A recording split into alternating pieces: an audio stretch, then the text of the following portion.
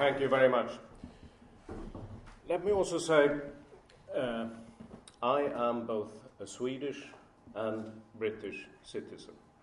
I've also uh, been a member of the Austrian President's Delegation of State for Trade and Industry for, for a period of 10 years.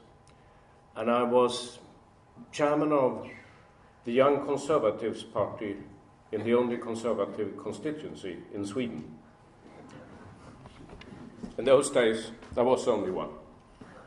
Um, and I have also fought a long standing uh, case against the EU in Brussels.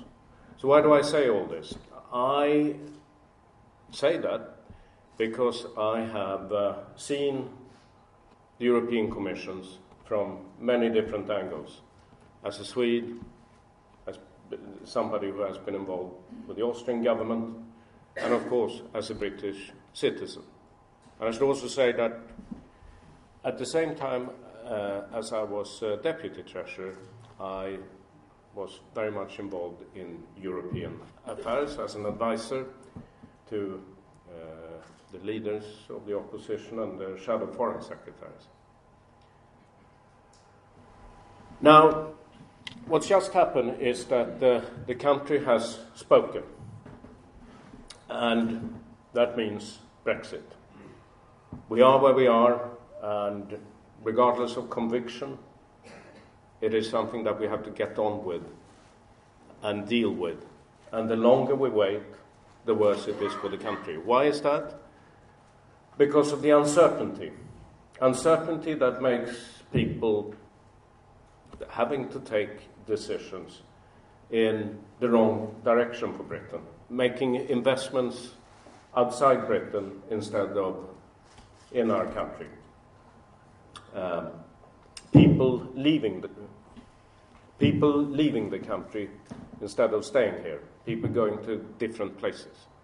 And that is why it's so important that we find a way forward where we can present transparency and show everybody that uh, this uh, uh, Brexit negotiation is something that can hopefully be achieved very quickly and to everybody's advantage.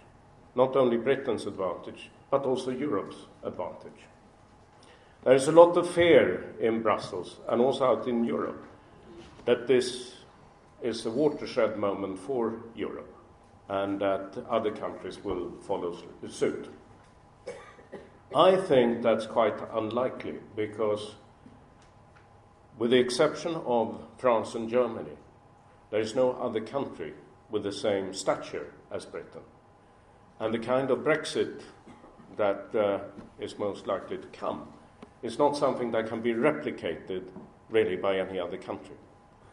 And that is why those fears, hopefully, will subside. I think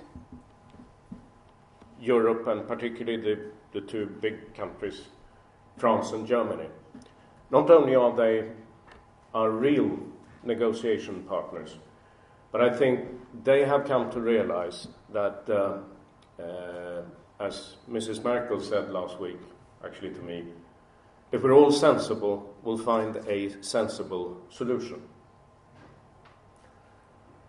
Now, much has been said and much has been written in the papers about different scenarios.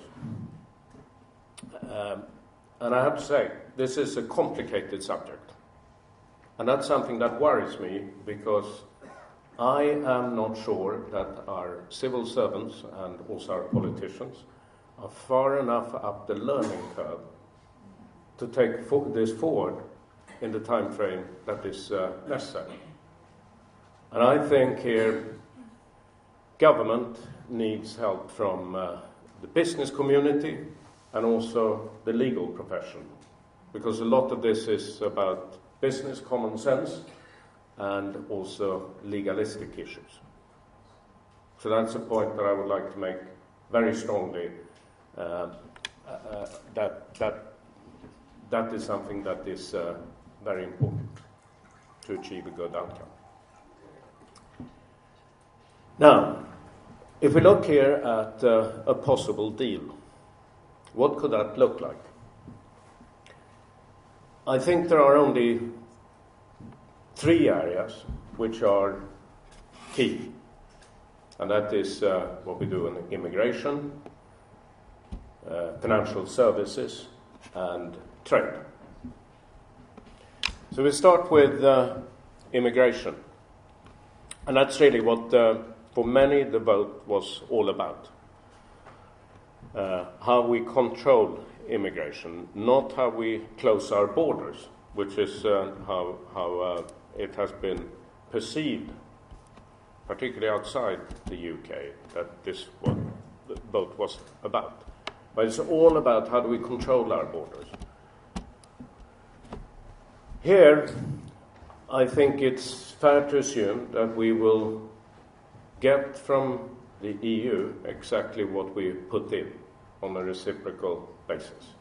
So, whatever we are prepared to offer is something that we can expect to get in return. Now, here I believe we need talented and highly skilled people in Britain. Uh, and personally, I think it's good.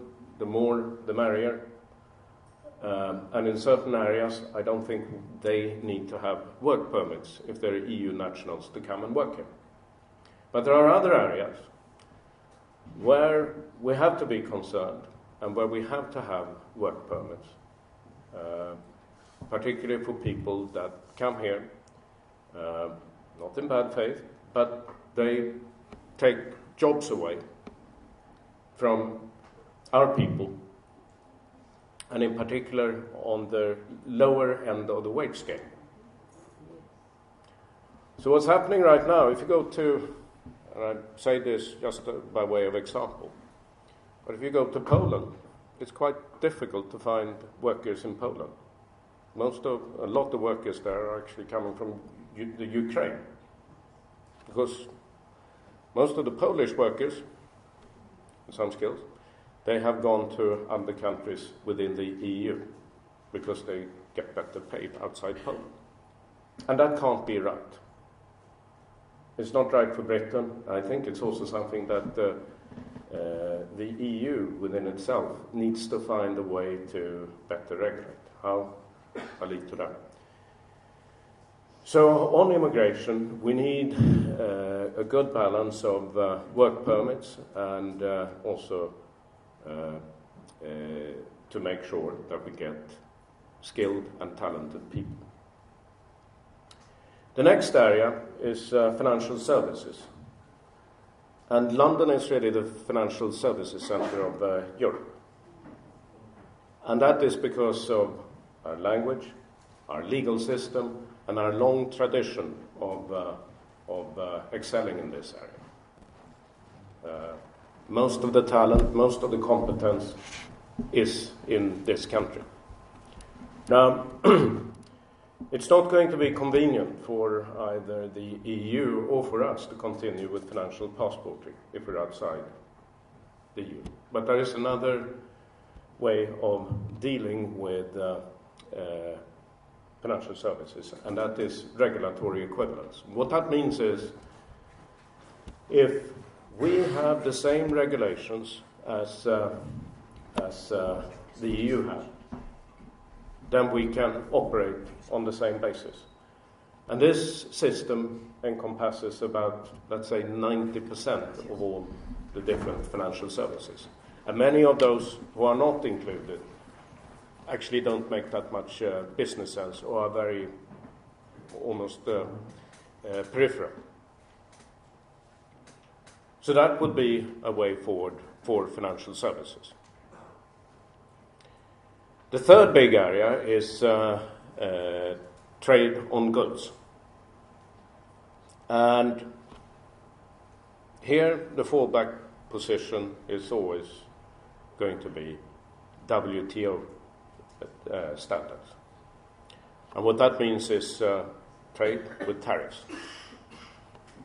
Now, if that were to happen, let's look at the, uh, the picture of that.